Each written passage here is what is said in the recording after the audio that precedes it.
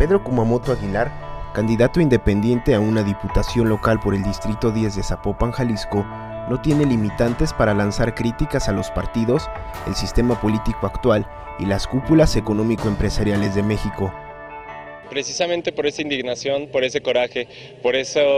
digamos, falta de, legitimidad que tiene la política para mí, esos partidos políticos, por eso involucrarnos. No se trata de hacernos a un lado y dejarles que ellos continúen tomando las decisiones por nosotros, sino al contrario, la, la lógica es precisamente porque las cosas están muy mal, precisamente por eso hay que intervenir. Con apenas 25 años de edad, el originario del municipio que podría llegar a representar en el Congreso local del estado de Jalisco es egresado de la licenciatura de Gestión Cultural del Instituto Tecnológico de Estudios Superiores de Occidente, el ITESO,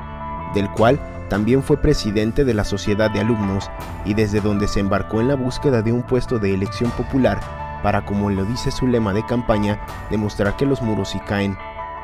Cualquier iniciativa que yo presente voy a buscar y voy a pugnar para que la firmen más legisladores de diferentes partidos políticos, porque cuando lleguemos ahí no vamos a ser servidores de partidos o independientes, sino vamos a ser servidores públicos. Nuestro trabajo es poner al centro las necesidades de las personas. Nuestro trabajo es sacar adelante nuestro Estado. Eso es la democracia. Kuma, como le llaman en campaña, es el rostro más joven de la recientemente creada figura del candidato independiente Formado en el activismo, Kumamoto surge de un colectivo donde conversan distintos voluntarios jóvenes sin filiaciones políticas, las candidaturas independientes desde esa perspectiva es un camino, pero hay muchos. El tema de la sociedad civil organizada, los colectivos autogestivos, las organizaciones comunitarias, organizaciones vecinales, todo, todo eso eh, le, brinda, muchas eh, herramientas más a la democracia. Yo no creo que las candidaturas independientes por sí mismas van a cambiar o van a generar grandes cambios, sino se necesita de la participación de las personas. La estructura de campaña de Pedro Kumamoto no tiene las ventajas y compromisos de un candidato partidista tradicional, no se beneficia de innumerables pancartas y espectaculares de las calles y de las cuales otros candidatos abusan en aras de posicionarse entre el electorado. Nosotros estamos en toda la lógica de ganar, eh, vemos que no hay ningún tipo de... Em, por así decirlo, limitante. Hemos crecido mucho, lo han visto y lo han constatado. En este espacio, dos de cada tres personas ya me conocen. La inmensa mayoría de esa gente que me conoce eh, nos dice y nos ratifica que va a votar por nosotros.